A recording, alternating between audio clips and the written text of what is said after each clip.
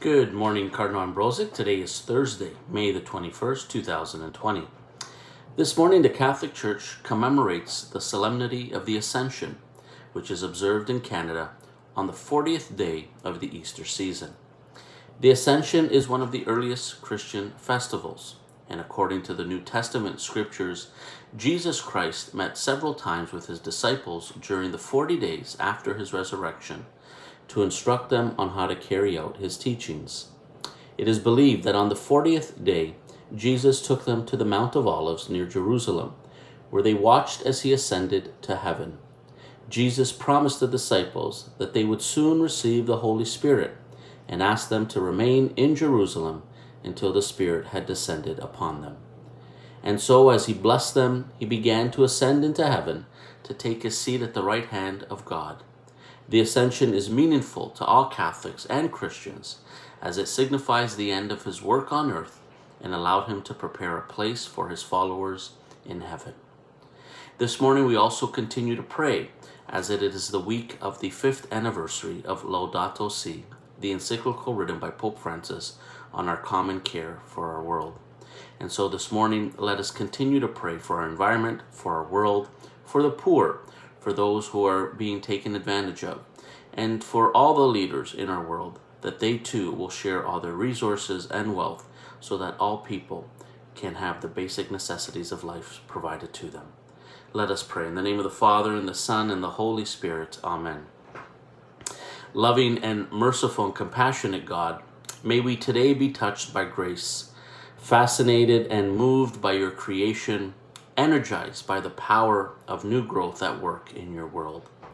May we move beyond viewing this life only through a frame, but touch it and be touched by it, know it and be known by it, love it and be loved by it.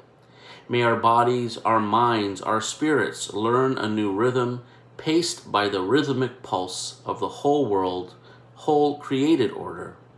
May spring come to us be in us, and live in us.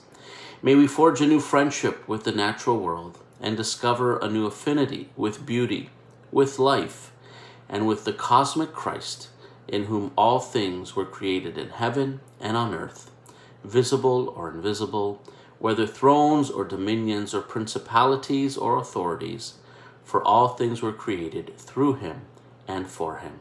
And we ask this through Christ our Lord. Amen. And now together let us pray. Hail Mary, full of grace, the Lord is with thee.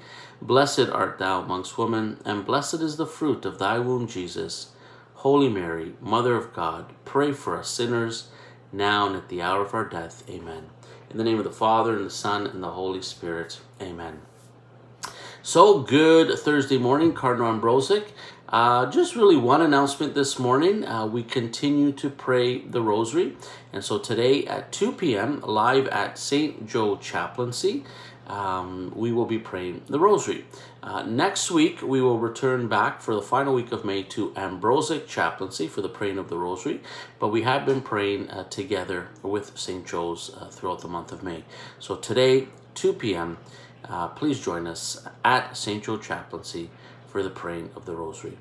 Remember, you can always follow us here on YouTube. Please subscribe, Cardinal Ambrozic Catholic Secondary School, Office of Chaplaincy for your daily morning prayer and announcements. Have a great day, Cardinal Ambrozic. Looks like another beautiful sunny day. Enjoy it. Get out there. Get active. Uh, we will see you tomorrow. God bless you.